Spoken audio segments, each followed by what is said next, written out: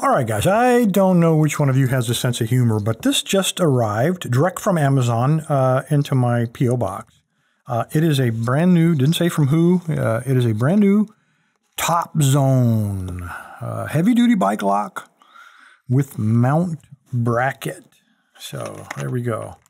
Uh, I know a lot of you guys know this, but um, I am working with one too few nuts here.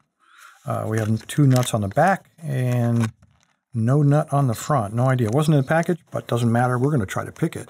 Uh, it the, there are keys, it looks like right here, up inside of there. Hopefully we don't need no stinking keys. I did take a look at this. It is a pin tumbler. Can you believe it? Probably out of, yeah, there we go. Probably made out of China, made in China, definitely. Um, take a look at this guy. I'm going to have to move the camera up so I can stand him. And let's find a tensioner. Try that white one. Try to work around the camera and the microphone. All right, let's try to bully this thing. I am going to put really heavy tension. Look at this pry bar. There's no tension. I'm going to put that much tension. And I'm going to try to hold it in place. And let me grab a pick. I am going to try this little guy from Sparrows, the Sparrow's worm. Uh, because it looks pretty wide, it should fit in there. So heavy, heavy tension. I'm going to have to angle like this. And let's see what we got. Super heavy tension and try to bully it. And that is not working. All right, let's try the opposite end of that. I'm going to recock it, and this time I'm going to hold, that's no tension, and that's how much I'm going to hold. Just barely enough to hold that tensioner in place.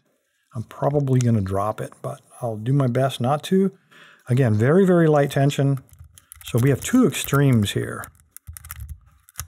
And I think when raking, a lot of times you can bully master locks when you rake them, and that's kind of what I was hoping for on that first one. But if that doesn't work, you're going to have to go to like no tension. And if that doesn't work, we will SPP this thing. I have no idea what the bitting looks like. Trying to keep from dropping the lock. All right, I'm going to try a technique variation here. I'm going to try to put it in there and then kind of rock it up and down like this. On the off chance that there's some, maybe some kind of extreme bitting in there like that. And we are open. All right, I would say that there are, this is a five pinner.